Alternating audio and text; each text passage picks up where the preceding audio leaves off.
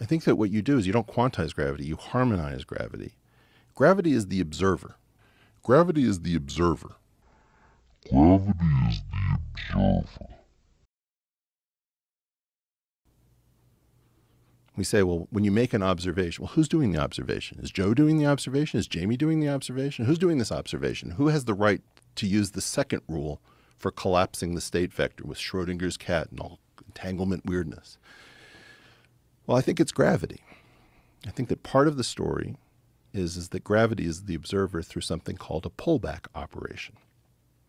And when you realize that, you realize that you don't naively quantize gravity the way you quantize everything else. In fact, gravity is the only field living on the successor to space time, if I'm correct. There are two spaces called X and Y. All the cool stuff in here, the, the electrons, the quarks that make up everything that you and I are, is living on Y, except for the metric, the rulers and the protractors, which lives on X, which is how you keep gravity separate. And the unification is the unification of these two things in a structure called a bundle. HOPF. Uh, you are looking at the most important object in the universe. What? Discovered by Heinz Hopf in 1931, Hopf fiber bundles pop up in at least eight different physics situations.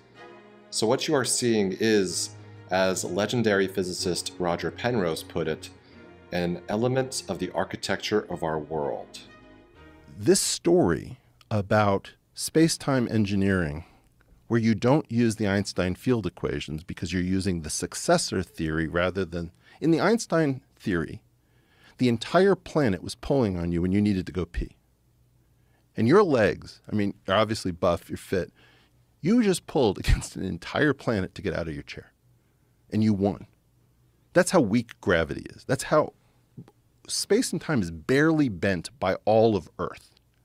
Now, you're going to tell me about an Alcubierre uh, warp drive where, okay, no, here's what's going on. The ship is inside of this little bubble of warping. No, it isn't. If somebody's space time engineering and they can get here from very far away, they're not using general relativity in the standard model, my friends. They're using a successor theory, and we have become pussies. We are not going to look at successor theories because we've all learned the lesson that everybody who tries to bet against the standard model loses.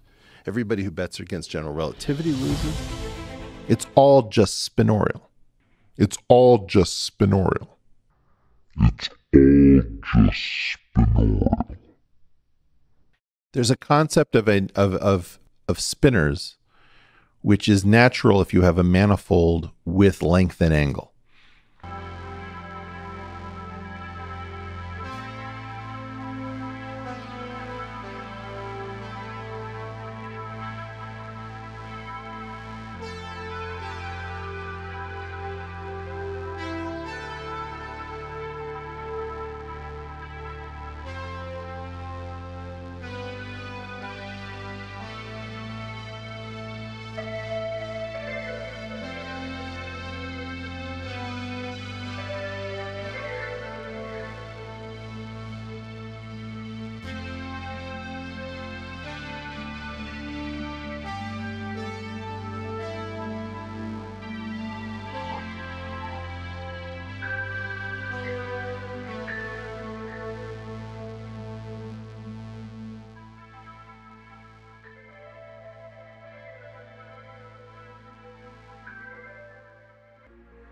But the structure that's choreographing them is beyond time.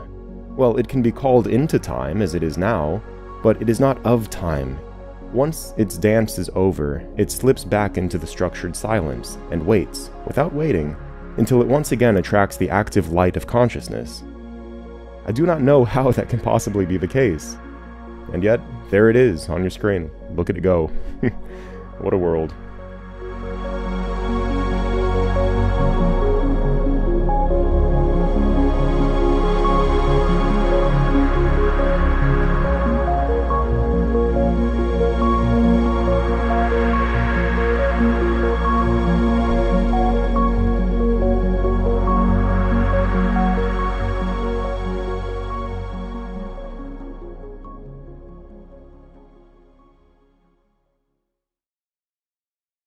Where do we go from here on GU in terms of somebody mm-hmm.